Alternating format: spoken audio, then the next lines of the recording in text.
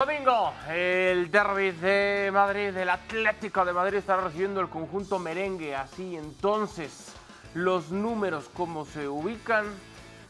Y esos números que siempre en un clásico se dice es que importa de a poco, porque en un clásico se juega diferente, se juega aparte. Muy buena noticia para el Real Madrid, vuelve a una convocatoria Vinicius luego de estar ausente por lesión. Habrá que ver en qué plenitud de condiciones físicas está para ver si puede arrancar, si puede tener algunos minutos de cambio, etcétera. Eh, lo, de, lo del Madrid, Jared, al margen de conseguir el total de puntos disponibles hasta ahora, de conseguir los, la victoria empezando Champions, el funcionamiento que ha tenido en los últimos partidos dista mucho de lo que vemos justamente en los números.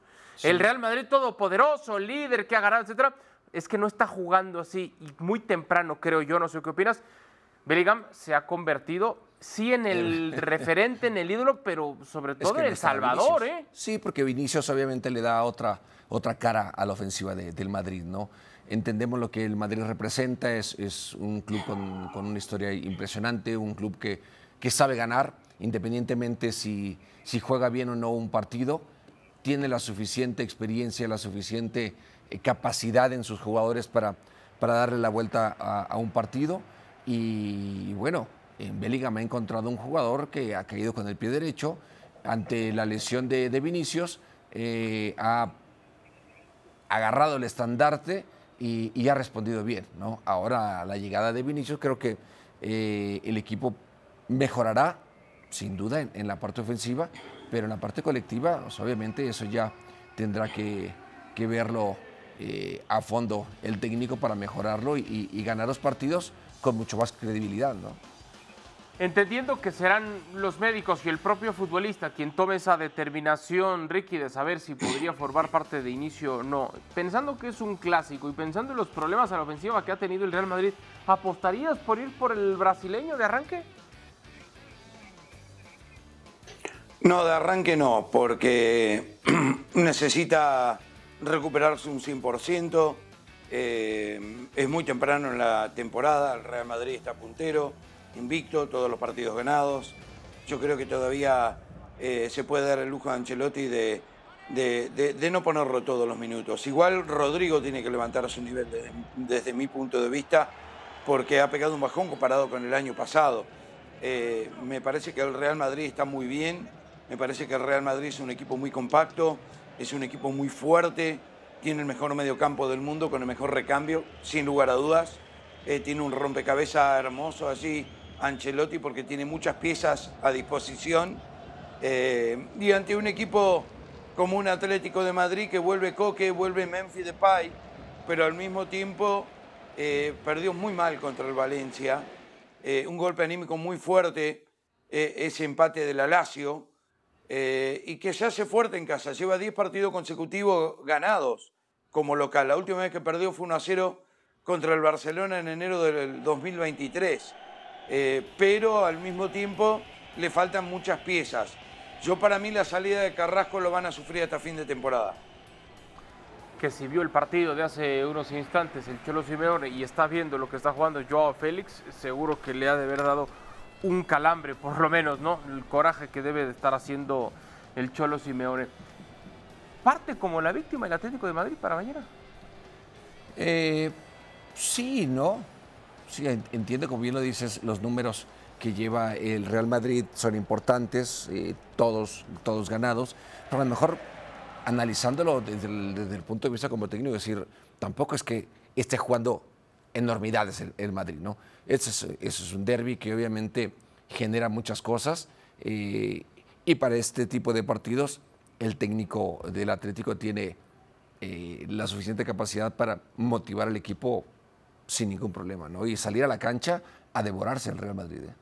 Bueno, seguro que esa va a ser la, la postura. Veremos hasta dónde sí. le, puede, le puede alcanzar a, al Atlético de Madrid en ese, en ese afán, en ese deseo.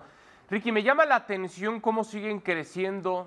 Yo sé que las comparaciones son odiosas, pero esa comparativa que viene creciendo mucho entre Bellingham y Zinedine Zidane no solamente comparten el número 5 guardando proporciones y entendiendo que apenas arranca su aventura Bellingham con el Real Madrid, pero hay, hay gente, y creo que me tengo que incluir, que sí encuentra muchas similitudes en la forma de juego, quizás en las características, tendría que hacer todavía unas recepciones de marciano, de, de, otro planeta, como las hacía Zidane, ¿no?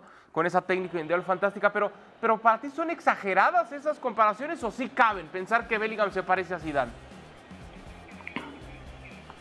No, para nada. Zidane eh, eh, es único, Adal. Me, me- me extraña que hagas esa comparación. Bellingham recién tiene 20 años, juega en otra posición desde mi punto de vista.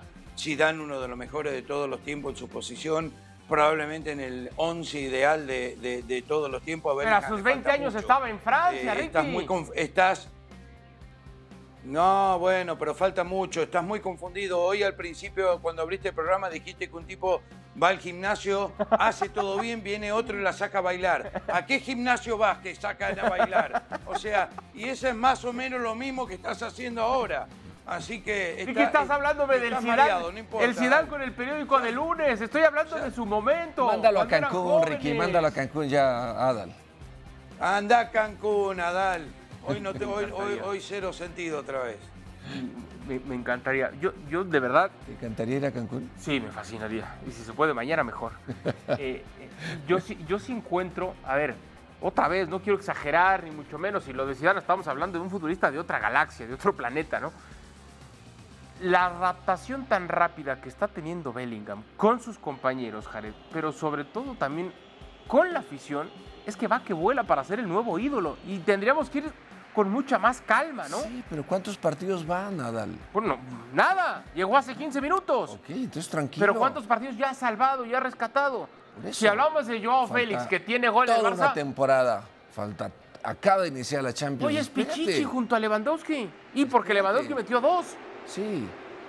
Está bien, tranquilo. Adán, ni lo viste jugar a Zidane, ¿de qué estás hablando? Si ni lo viste jugar, lo viste jugar en video o en videojuego. Gracias por decirme joven. Esa no es la algo verdad. que me pase muy seguido en este canal, la verdad.